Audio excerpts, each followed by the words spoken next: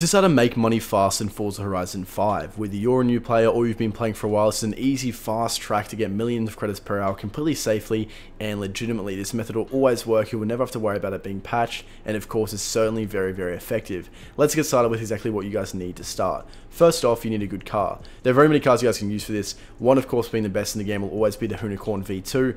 The reason why this car is so good is because it comes with a car skill multiplier of times 8. That means when you guys are earning skill points, you'll be able to do around 12 to 15% faster than a car with a skill multiplier of times 7. So it's going to be slightly more efficient. Compared to Formula Drift cars, they're still very good options and one that is very good to use if you guys don't have the Hoonicorn V2 as they're super accessible, only around 300,000 credits, but most of you guys will have a few of these for free. So very good option. The Hoonicorn will be the best if you guys have enough credit to spend. But regardless of what car you guys have, car mastery perks, make sure they're effectively maxed out. You guys can max them fully to the brim if you guys want to. Not too many skill points, a very worthwhile investment, as it'll be pivotal to making a lot more skill points and therefore money throughout the course of this. But now that you've got your car, you've got skill mastery perks maxed out, head to the Aerodome drag strip on this part of the map. It's a very straight and easy area to go in and farm up skill points, super easy. As soon as I get here, I'm going to get straight into it and start drifting. Pretty much going to drift in S-curves, very easy and straightforward. Like I said guys, it only takes around one minute to be able to get 10 skill points from doing this, and I'll show you guys a few tips and tricks a lot of people often overlook when they're talking about this method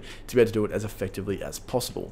Now one thing to keep in mind guys, in a skill chain, the most skill points you can possibly earn is 10. The cutoff for that depends on what your skill multiplier is, what I was talking about before.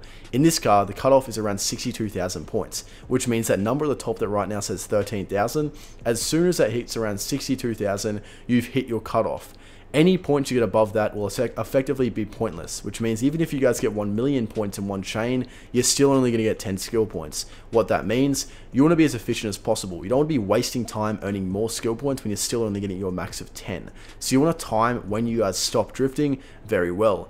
If you're in a Formula Drift car, this point is at 72,000 or any car with a skill multiplier of times 7, so you want to factor that into account. But pretty much, when you guys are drifting like this, you're actually earning skill points faster than what the animation will show on screen. What that means is that your points are actually higher than the number on screen. So if you guys are thinking, oh, well, I'll wait to the number that's on screen to get to, let's say, 62,000 and I stop. No, you want to time it because you'll actually stop beforehand because your points are actively going to be around 20,000 higher than it shows on screen or a little bit less than that actually. I'm going to stop at around 47, 48,000 right towards the end of this lap here and I'll show you guys I'll continue to build up for quite a while to go in and show that point exactly as to how it works. Let's go ahead and stop here and you'll see they will continue to build for quite a while. So if you guys are doing this in a Formula Drift car, you'd probably want to wait a little bit longer, around 10,000 points later. So I'd probably stop at around 55 to 60,000 if you're in a Formula Drift car, as you want them to keep building up to around 72,000. You'll have a bit of trial and error when you're doing this, and once you guys have done enough times, you'll find the perfect time to stop for you. It'll be different for everyone, it depends how good and efficient you are at drifting, but as you guys can see, I stopped at around 47,000, it's still building, and like I said, as soon as I cross 62,000, I'm wasting time. So I've already hit the point where I would have gone 10 skill points, so I look at how many thousand points it was over and adjust it for next time. So let's say it stops at 70,000. I stopped at 47,000 this time. That's 8,000 over what I wanted to hit. So I'll stop 8,000 later next time, which means next time, well, 8,000 earlier, sorry, which means next time I'd only want to stop at around 41,000. I don't want to get too much uh, math into it, but you guys get what I'm saying. I'm stopped at right now 71,000. This would be perfect if you're in a Formula Drift car, probably stopped around 47,000, 48,000 area. And you guys will see that's 10 skill points right there. However, here's the next massive tip, which will be super important to you guys saving time.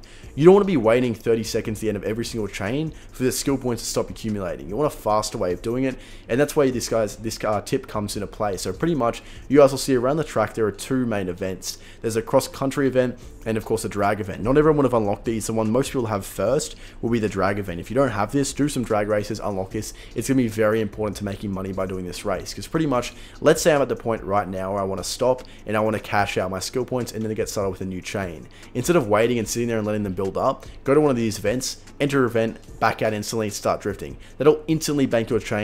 You guys will save a lot of time by doing that. Super important. But guys, now let's get into converting those skill points into super wheel spins. And just before I do, like I said, if you guys are wondering I've got so many, I want a modded account from MitchCredits.com and you guys can get one of these too. We also have a credit packs can be applied to existing account of yours, rare car, full mod packs and more, all safe and secure at MitchCredits.com with almost 10,000 Trustpilot reviews. We also have a COD, Modern Warfare 3, GTA 5 and EAFC 24 packs on our website. Check it all out guys, link in the bio, but let's get started with converting these into super wheel spins. Now there are a couple ways you guys can do so, very easy and straightforward in terms of how it works. Now, the first car you guys can use for this is going to be the Ford uh, Puma Forza Edition. One thing to keep in mind, guys, you can only actually use this car if you have got the Ultimate Edition of the game, because it's actually a, a, technically it's a DLC car.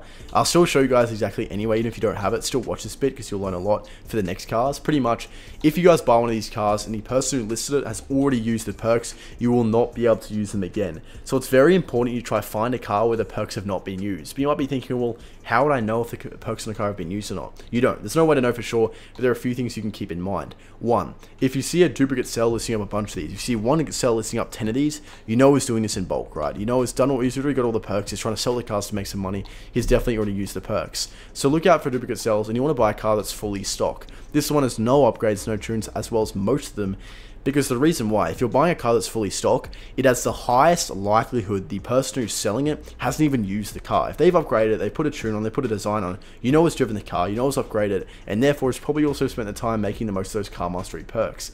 If a person hasn't even touched their car, there's a good chance he's not actually doesn't really care about the car itself. The reason he's selling is just to get some quick credits for is trying to clear out cars in his garage, make some money selling cars without really looking into them or using their perks.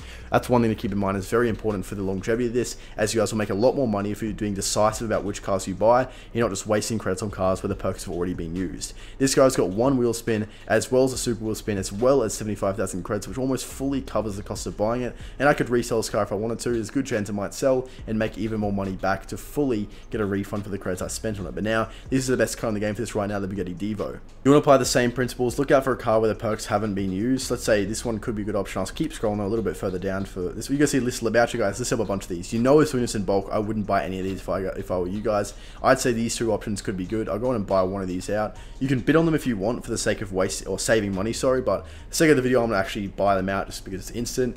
I wouldn't recommend bidding on them to be honest, because you'll spend so much time going back and forth on bids in the last few minutes of each auction. You may as well just spend that time, you know, actually grinding out the skill points and making more money overall than just wasting uh, wasting time trying to buy cards for cheaper. Because either way, you'll probably resell them and make the money back anyway, so it doesn't really matter.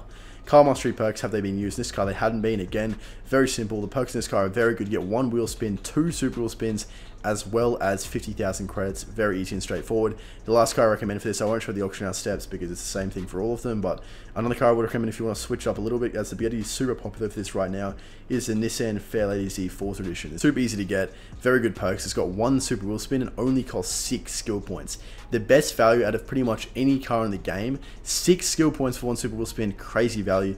Downside, you don't get other credit perks or you don't get two super wheel spins and a normal spin like you do with other cars, but six skill points per spin, that's crazy good value. If you guys are making money and you want to save your skill points, consider using that Nissan Fairlady Z. Head over to MitchCredits.com if you guys want credits, rare cars, modded accounts and more. And of course, drop a like and subscribe and how this goes you, comment down below.